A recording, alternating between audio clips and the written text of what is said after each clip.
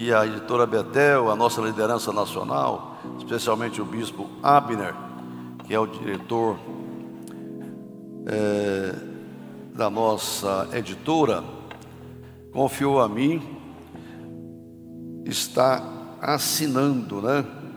Essa série de lições que há um assunto que administra a vida toda, né?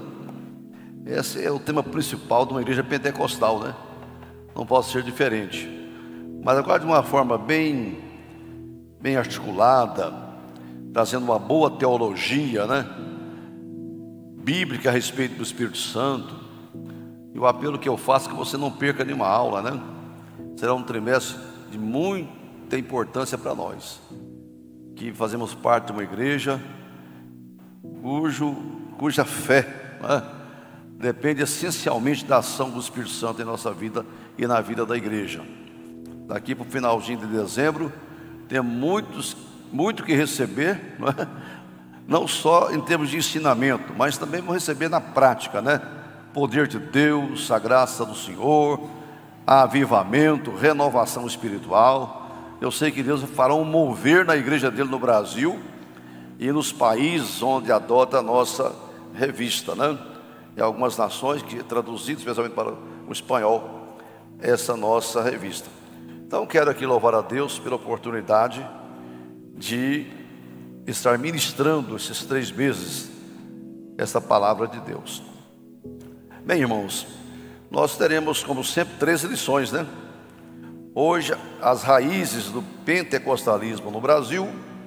Domingo que vem, a promessa da vinda do Espírito Santo. E o pastor Itamar vai trazer uma novidade esses três meses, né? Alguns convidados especiais que estarão vindo aqui, eventualmente, em alguns domingos, né? E, enfim, dons de revelação, o fruto do Espírito, tudo sobre a pessoa do Espírito Santo. Eu acho que pode baixar o volume aqui, ou algum que está com uma certa microfonia, não sei. Ok? Muito bem. Olha, irmãos, o Espírito Santo é a terceira pessoa da Trindade, não é? Jesus prometeu, e o texto base da lição de hoje, a gente se reporta a isto. Eu quero dizer o seguinte: essa lição, até o pastor Enoque sugeriu que a gente colocasse ela lá na quarta lição, mais ou menos, né? Depois de, falarmos aqui sobre a promessa do Espírito Santo, toda a obra ao longo do século, chegava ao Brasil, né? Mas quando a gente levou para a editora Betel esta proposta, essa sugestão, já estava na gráfica, não pôde mudar mais a ordem da, das lições, mas o certo seria isso mesmo, né? De qualquer forma, é, como ia dizendo, o texto básico da lição de hoje mostra a promessa de Jesus, né? Que finalizando o seu ministério terreno, ele prometeu enviar um outro consolador, alguém igual a ele, né? da mesma natureza, para continuar a obra de Deus na terra, a obra que ele começou a fazer. Tá? Então enviarei outro consolador. E da verdade, nós sabemos que o Senhor honrou essa palavra, né?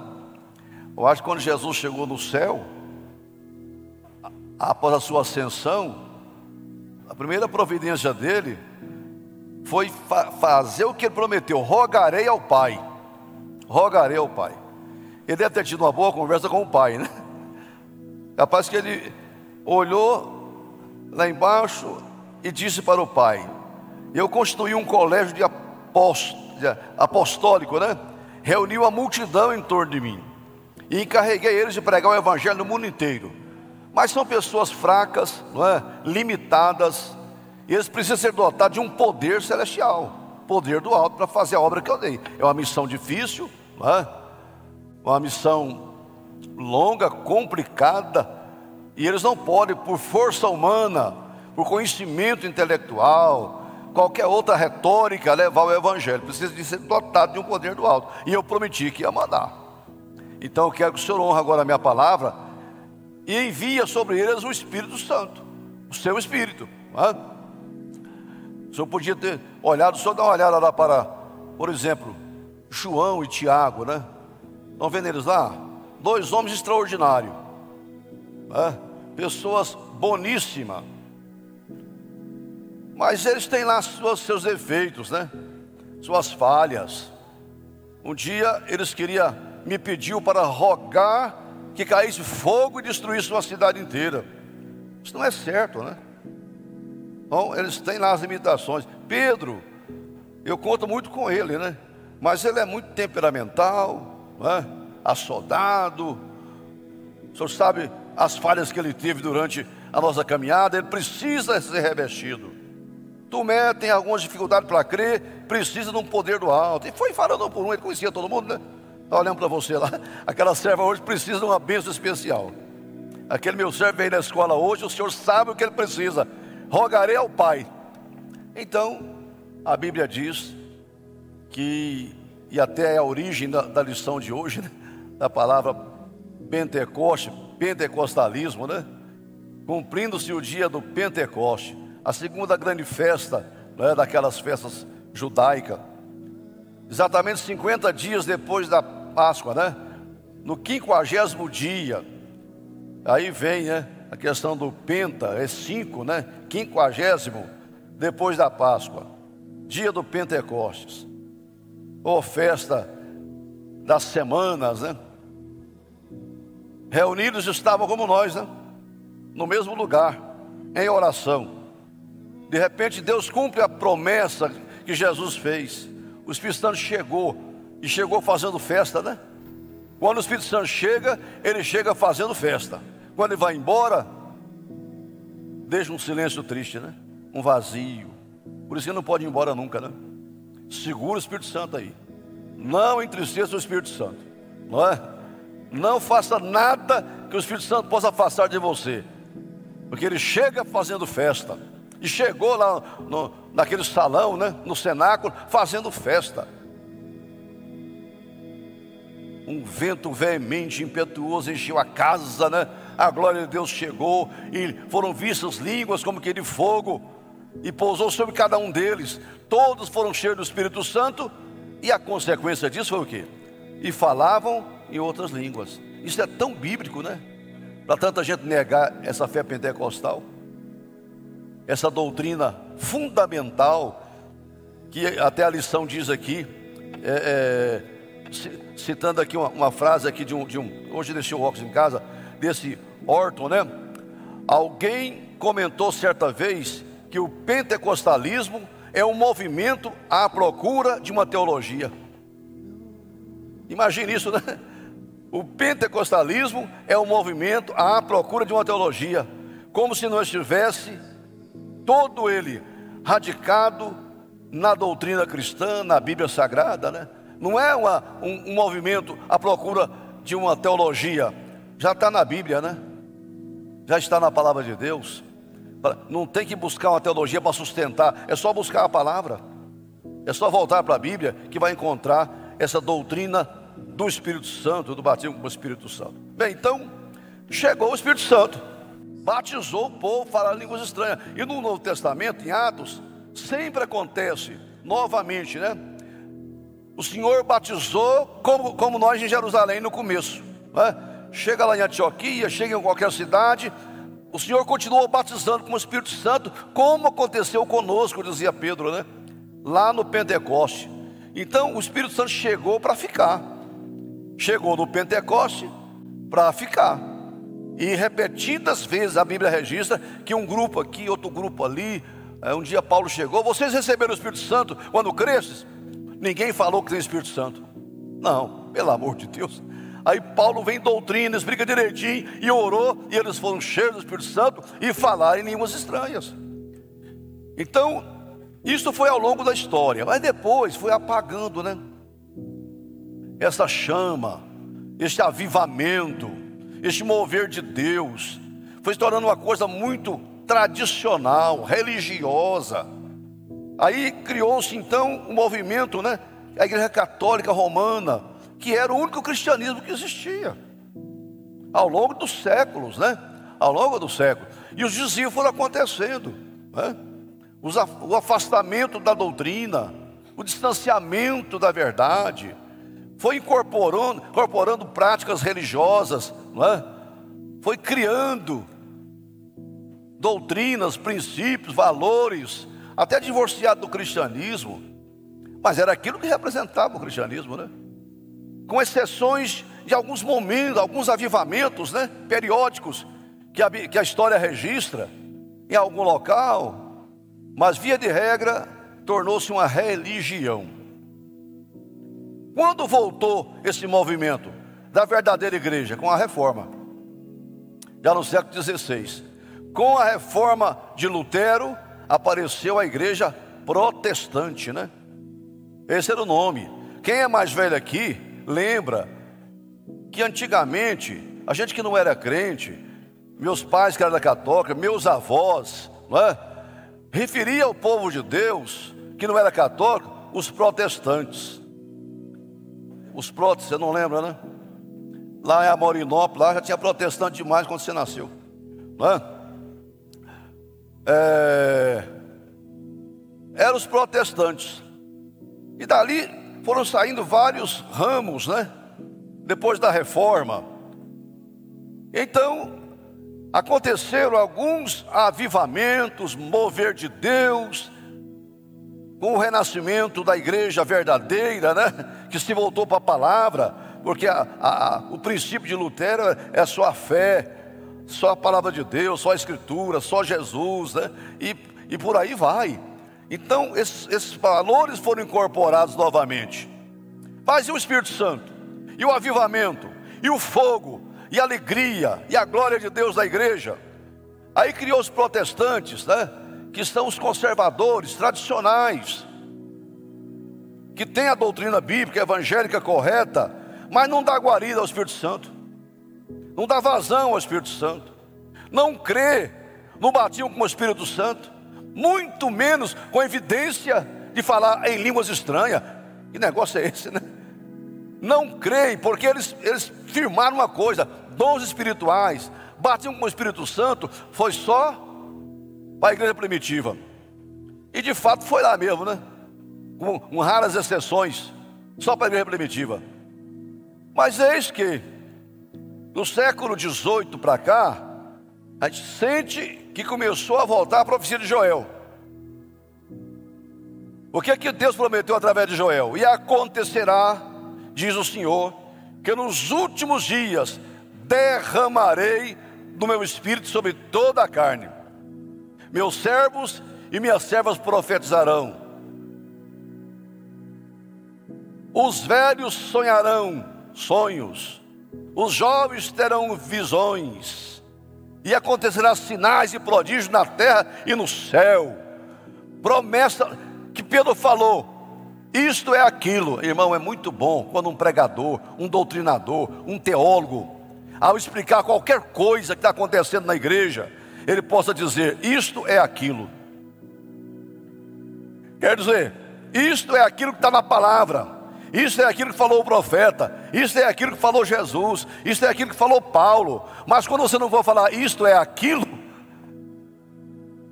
isto é aquilo que falou o profeta Joel, quando ele explicou o mover no dia do Pentecoste para aquelas nações que estavam ali, pois que não são judeus que estão falando em nosso idioma, cada um fala grego, não é? Licaônico, latim, nas várias línguas das nações, eles não estudou como falam.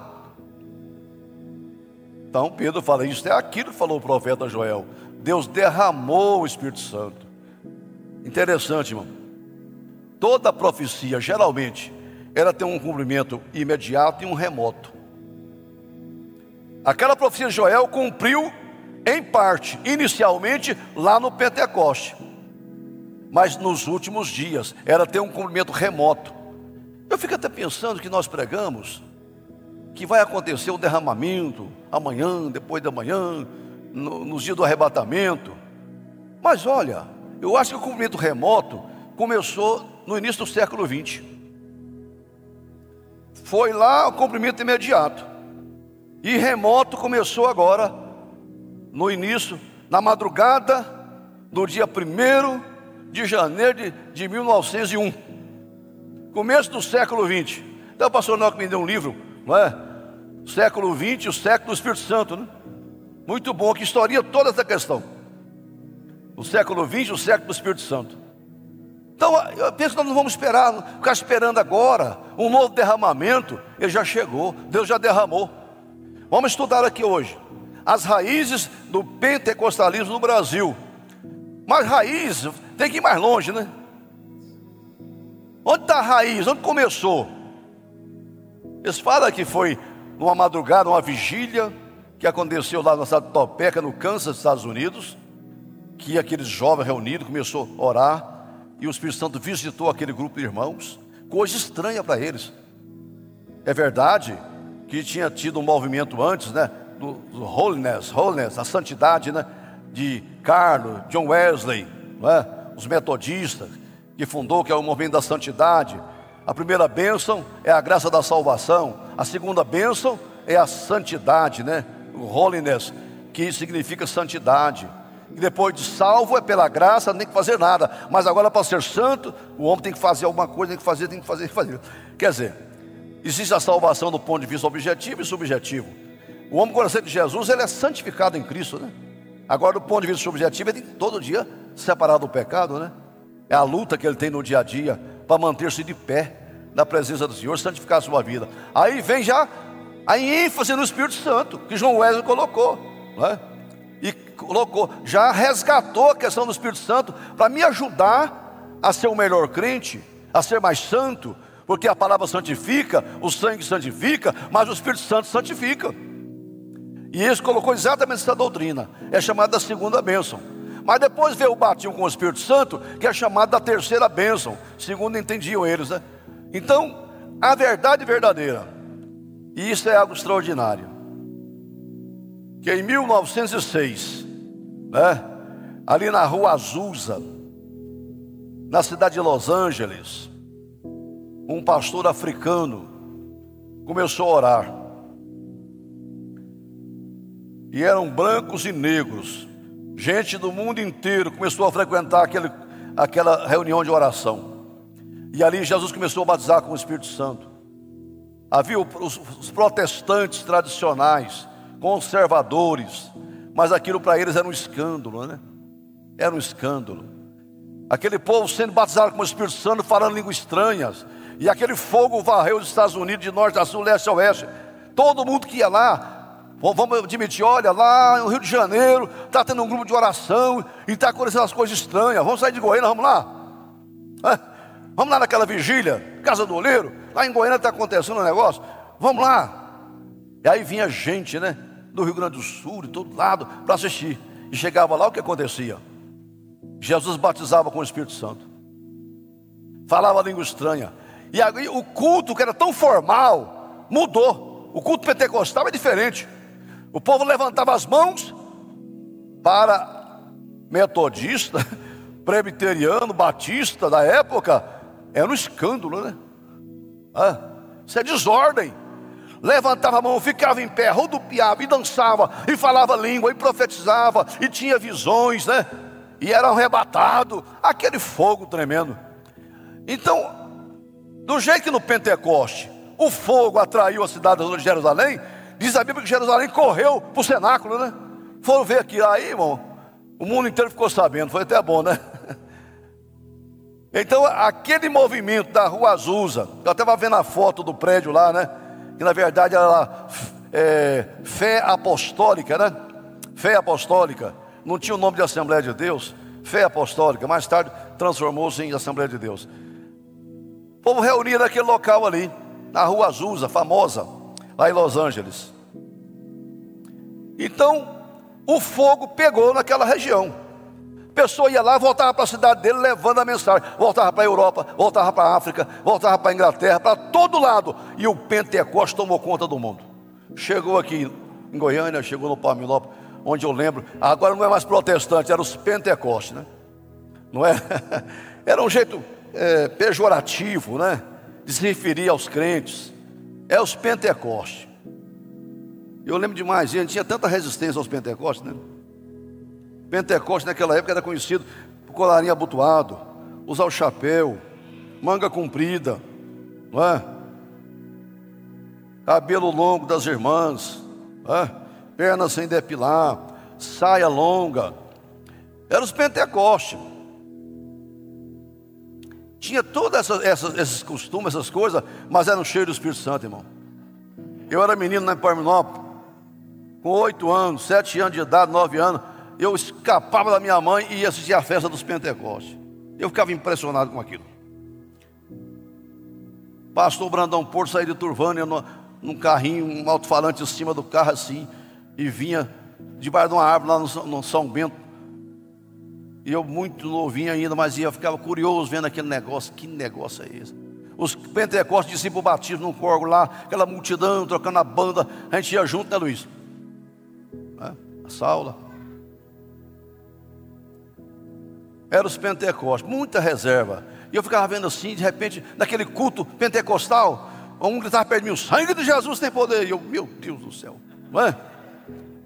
E o outro glória a Deus, e outro língua estranha. Isso era lá na rua Azusa, né? Glória a Deus, aleluia, língua estranha, aquele movimento que espalhou pelo mundo.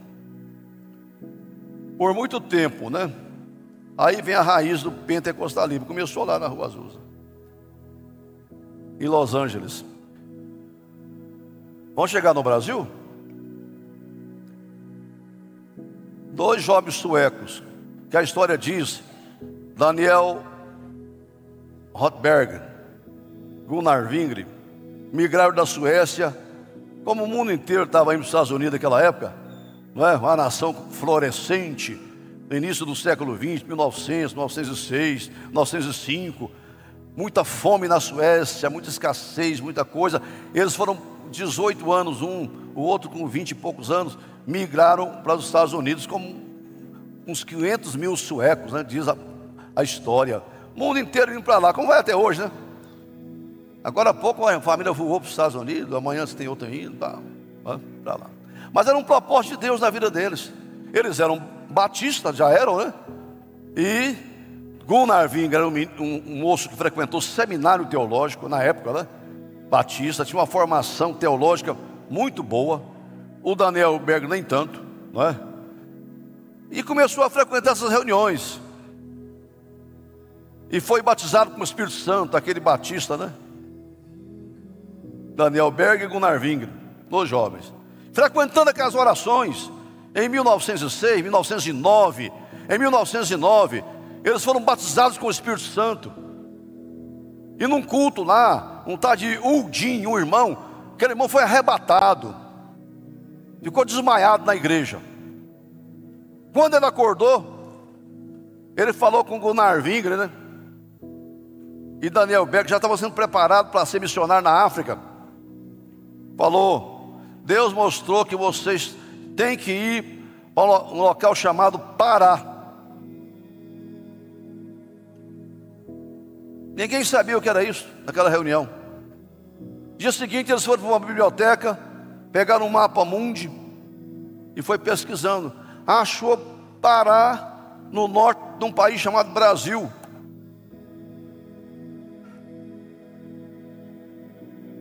É para lá que nós vamos.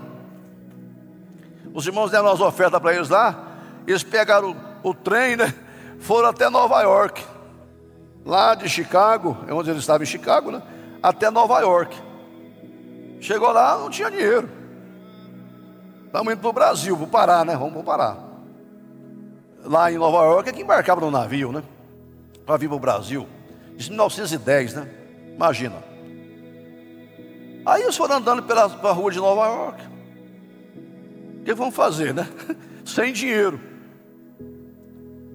De repente, vem ao encontro deles um senhor, que era conhecido, que conhecia Gunnar Wingre, lá de Chicago. Conhecia ele.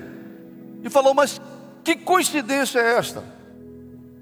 Hoje eu sonhei, Deus me deu um sonho, que eu estava que eu tinha que mandar um envelope no seu endereço, uma oferta para você. Mas eu encontrar você aqui em Nova York, que conversa é essa? Você está em Nova York, Gunnar? Não, eu estou aqui, nós estamos indo para o Brasil. Vamos parar, né? Ele, pois então, eu tenho aqui 90 dólares que eu ia mandar. E passou os 90 dólares para eles. Eles foram no porto, a passagem era 90 dólares. Isso é a raiz do pentecostalismo no Brasil.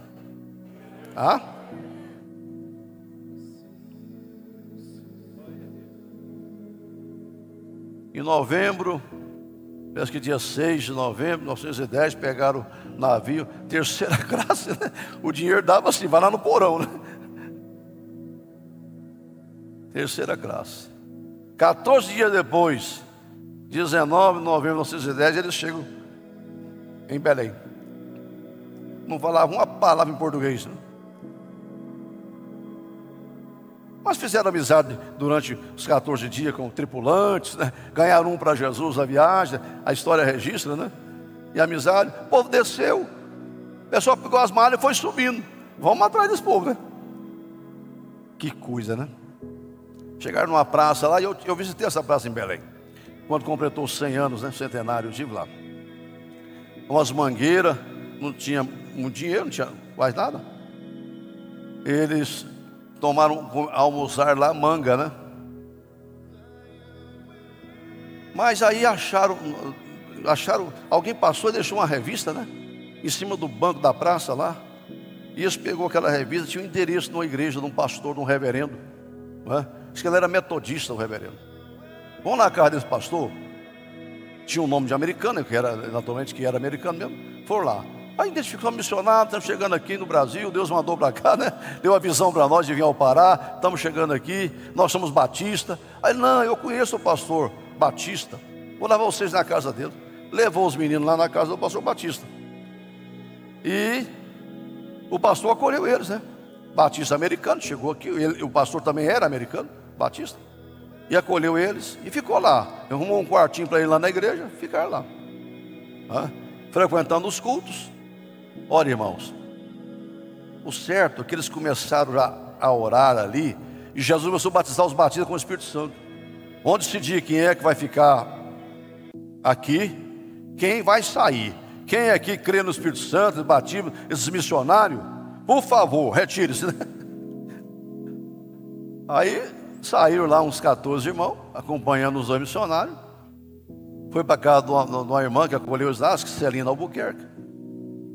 Foi a primeira mulher a ser batizada com o Santo do Brasil, foi Serena Albuquerque. Né?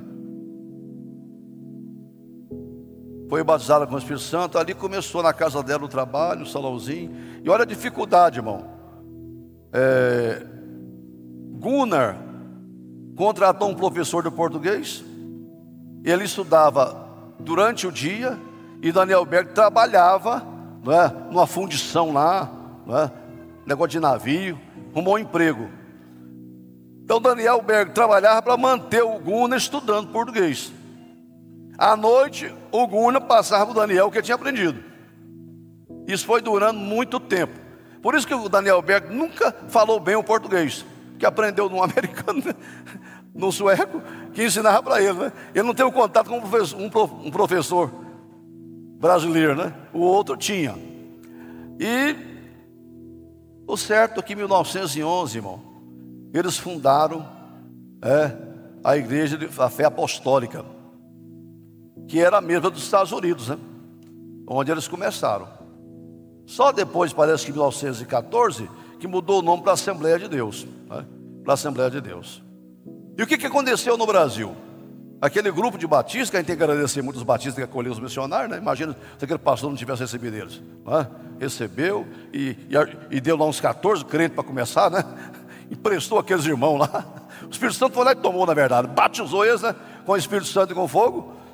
E ali começou a Assembleia de Deus, que se tornou o maior movimento pentecostal na face da terra. Sabia, irmão? Assembleia de Deus, a maior igreja pentecostal do mundo está no Brasil. Ah, no Brasil.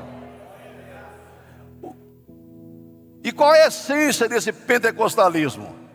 É a fé no batismo com o Espírito Santo, com a evidência inicial de falar em línguas estranhas, e a fé que os dons espirituais são para hoje. É? Com o Espírito Santo, com a evidência de falar em outras línguas, e milagres, sinais e maravilhas não foi só para o passado, é para hoje também. Essa é a essência do pentecostalismo, né? No Brasil e no mundo hoje, no mundo. Quais são as igrejas pentecostais? O pentecostalismo clássico: Assembleia de Deus, o Brasil para Cristo, Evangelho quadrangular. Me lembra uma outra aí, que é que é um pentecostalismo clássico. Não, isso aí já é neopentecostalismo. Poucas igrejas, Brasil para Cristo, quadrangular, Assembleia de Deus, a congregação cristã do Brasil não aceita que ela é pentecostal, mas ela chegou junto com a Assembleia de Deus, é? crendo no Espírito Santo.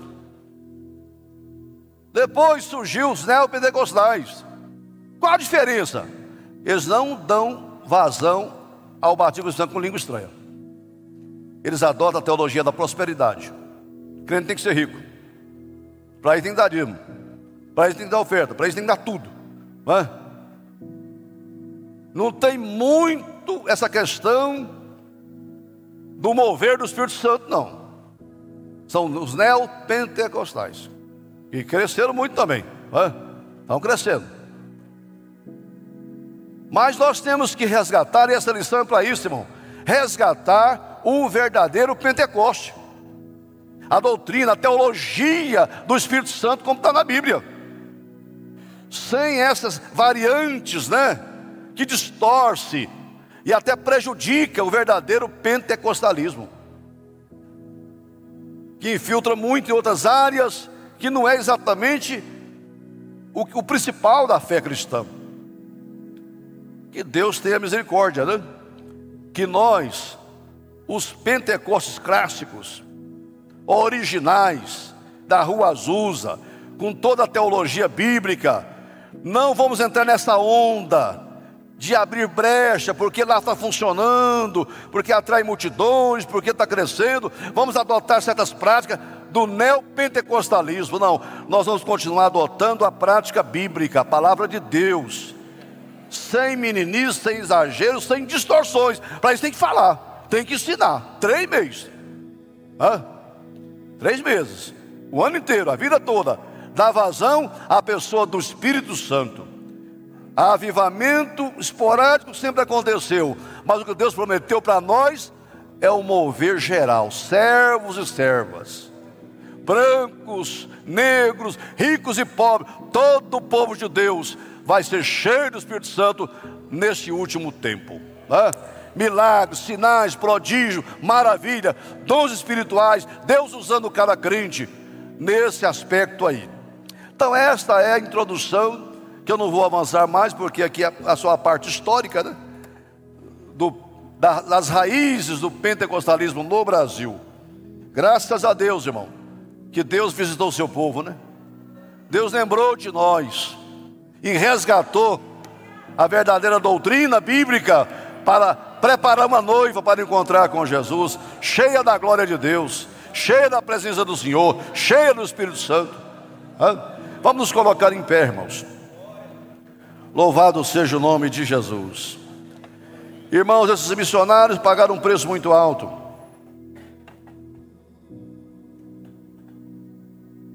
Daniel Berg, no livro dele, ele fala: ele enveredou por uma, pela floresta amazônica, né? Para encontrar os ribeirinhos. E alguém tinha avisado para ele: olha, tem umas anacondas aí, né?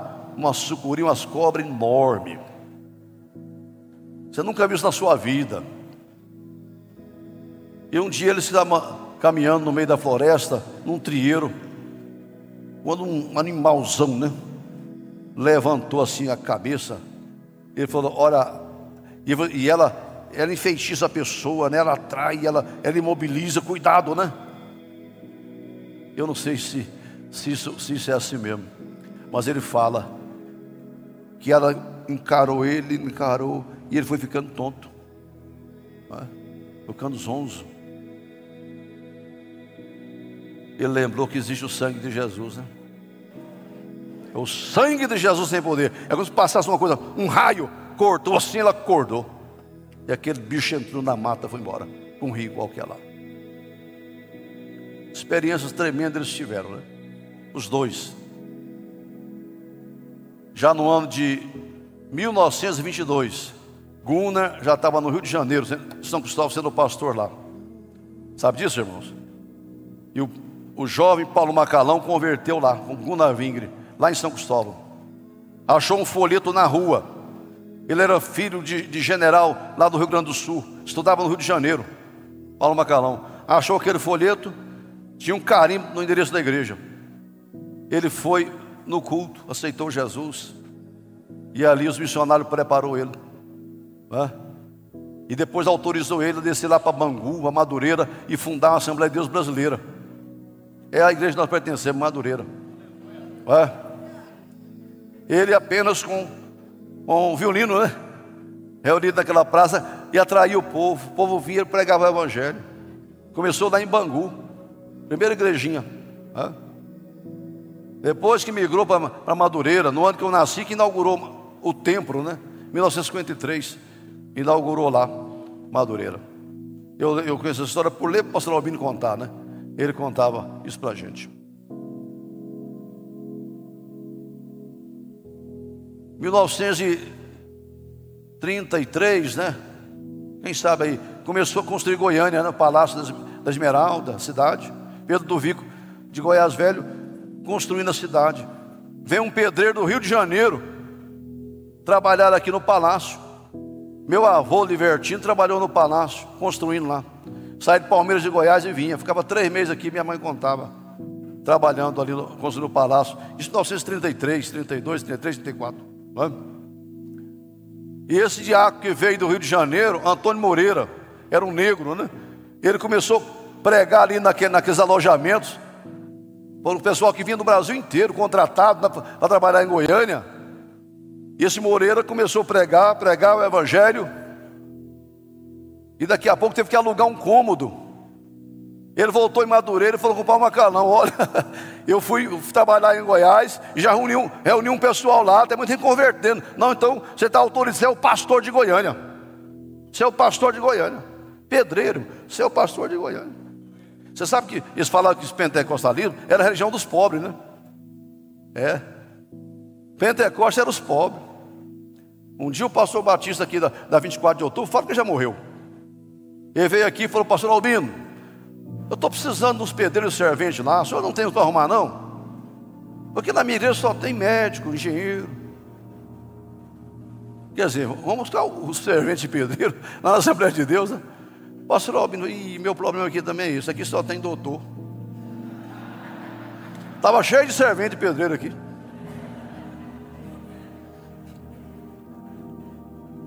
Não é? Então Antônio Moreira fundou a Assembleia de Deus, onde meu genro hoje é o presidente lá, rua 55, era número 18, hoje é 180, né? Primeiro lote, eu tenho a escritura dele guardada aqui, que foi a doação do Pedro do Vico. Isso tudo é Deus, irmão. Maior igreja evangélica do Brasil, maior do mundo. Glória a Deus. Foi subindo como raiz de uma terra seca, ninguém dava nada por isso. Tem Pentecoste aí hoje? Canta aí, Elza.